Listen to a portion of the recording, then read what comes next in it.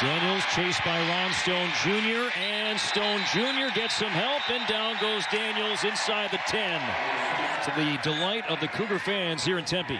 Ron Stone has created so many issues. That is a tough ask to have Chip Trayanum block, who arguably right now one of the best in the Pac-12 off the edge. And now it's third and extra long.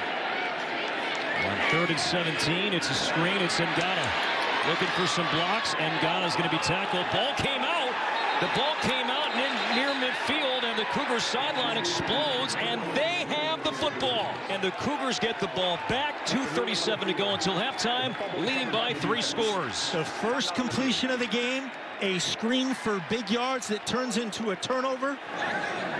On second down, it's Trayanum again, and he is buried once again by number 10 in white and crimson.